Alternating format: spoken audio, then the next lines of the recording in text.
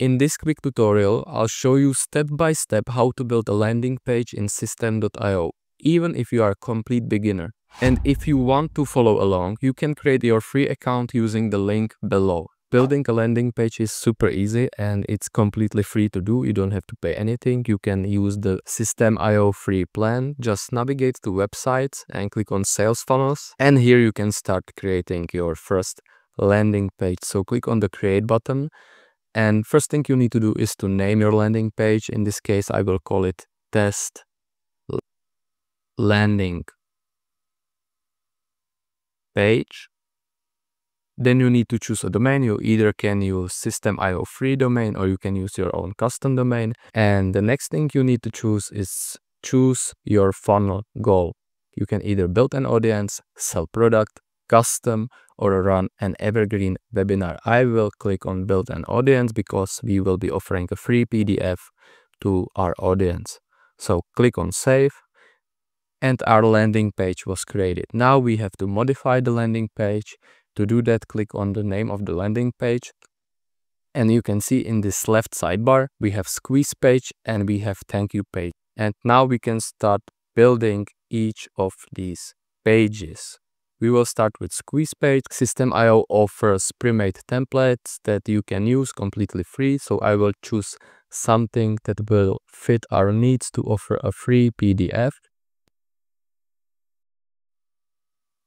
I think this one could work. So you can preview the template if you like it. And if you do, you can click on select and the template was selected for our squeeze page. Before we start modifying the squeeze page, we should change URL path so it makes sense. So I will call it landing page. So it will be either your free Systeme.io domain slash this or your own custom domain slash the name of the page. So to start customizing the landing page, click on edit page.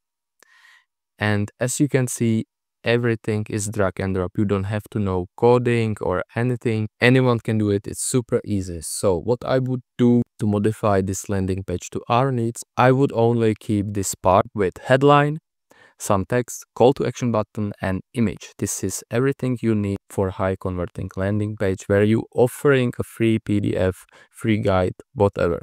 So what i would do i would delete this element. You just click the trash icon and click on ok I would also delete the logo, but you can keep it if you want. But I will delete it. I will delete this text here. And I will delete this whole bottom part. So just navigate over any element you want to delete or modify. Click, click. I will delete this whole section as well and this form as well. Now we can start modifying these elements. I prepared some text before I have it in Google Docs and I will be just copy pasting. So first I will start with the headline.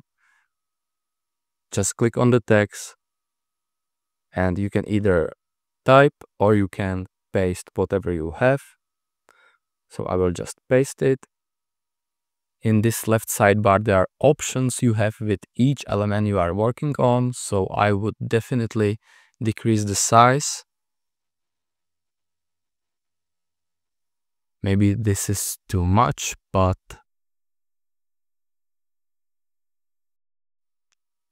I will change the line height as well. And I would like maybe change the font because I like Poppins so I would go to Poppins and I will change it to Poppins because I think Poppins looks so much better. I'm not sure about the size, but I will keep it like this. Never mind. Now, next thing we need to copy is our subheadline or any other text. I will paste it here. I will check the font and I will make it Poppins as well. Now the call to action button. With call to action button, if you click on it, you have multiple options of what can happen when somebody click on the button. In this case, as you can see in this left sidebar, action when button clicked and we have selected show pop-up. So this button is set up to show pop-up window once somebody click on the button. If I click on this, you can see there are multiple options you can choose from like submit form. So if you had, let's say email form, clicking on the button will subscribe the people to your email list. Open URL, the people will be redirected after they click the button. Next step URL, that basically means once somebody click the button, then they will be taken to the next step in the funnel, which in this case is our thank you page as you could see before. But I will keep it like this. I will only change this text.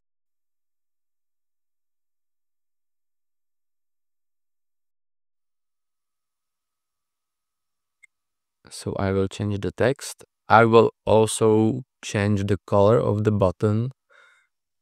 I will make it maybe blue, maybe like this. And I will make the text white because I think it's more related this business niche, let's say. Now, because we have action when button click to show pop-up, we should set up the actual pop-up. So to do that, you need to go to pop-ups and you can see there's a pop-up created, pop-up number one, we can check it. And you can see it has very simple headline, email form, and again submit button, but it really doesn't match the style of our landing page of, or our squeeze page. So we will modify this as well. First thing I would do, I would delete the your last name form because we don't want to waste people's time. So name and email is enough. Now I will change the headline and again I will change the submit button.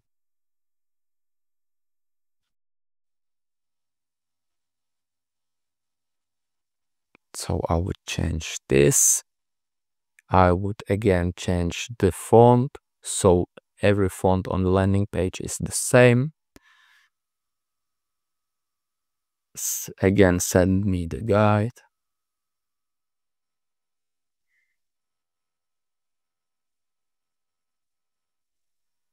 Next thing, I will definitely change the color of the pop-up. Maybe I can make it this blue to match with the call to action button and I will make this text white.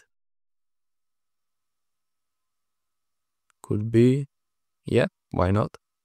Next thing and last thing we need to do on our landing page is change the image because the image should be related to our free PDF or our free lead magnet. We go back to settings and click on the image and you can see image files so you can replace this with your own image. So I will click on upload button, select file and I have prepared my it's basically an ebook cover created in Canva. Click on insert and we can change the size. It's too big. I will make it like this. And our landing page should be done. Before we leave and save the changes, we should actually check one more thing to go back to pop-ups. And we should check what is the action on this call to action button and its submit form and then do the next step. So once somebody submit to this email form, they will be taken to the thank you page actually one last thing for our thank you page. What we will do, pretty simple, just go to this whole landing page element, click on this save icon and name it landing page. What this does, you can save this whole block to your pre-made blocks and then you can import it to whatever page you want. And I will explain you why this is a great idea. So click on create and click on Save Changes. Before we leave, we can check our page and it looks like this. It's very simple headline, some text, send me the free guide button and image. If we click on it, we have this pop-up window. Everything seems to be alright, so we can leave it and we can also exit the editor. And now we can move on to thank you page. So click on the thank you page And again, you have these pre-made templates. These templates are definitely good. You can use them. But what I would recommend you to select whatever template you want. I will select this one, for example. I will click on select. I will change the URL path again to, to thank you page. To thank you page or to thank you. And I will go to edit page. Now, as you can see, the thank you page looks pretty okay, but it doesn't fit the style of our squeeze page. And we want our squeeze page and our thank you page to be as similar as possible so people are not confused and there is some sort of flow between those pages. So what I would do, I would delete everything, even this. And now what I will do, go to blocks, my blocks, and you can see here is our block from our squeeze page. Click on it and it was imported to your thank you page. What you can do now, you can build a thank you page with same style from your squeeze page. So what I would do, I would grab this headline, I would put it above on the center under this, I would put the image and I would add some text, maybe, and call to action button. We can delete this or you can add other elements if you want to. Alignment to center, the same with the call to action button.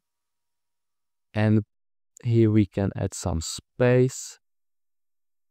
Super simple thank you page we will just change the text. Check your inbox. Your guide is on the way. Alignment to center again.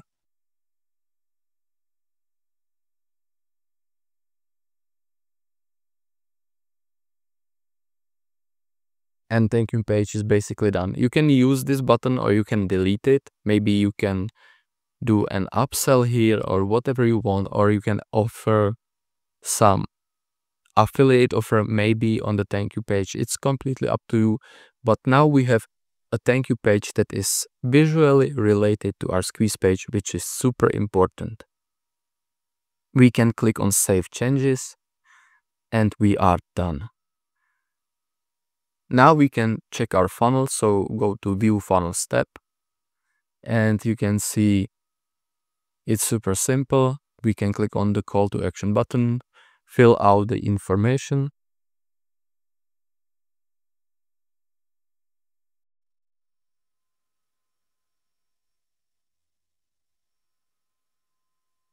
And we were taken to our thank you page. So our landing page or our squeeze page and thank you page works properly.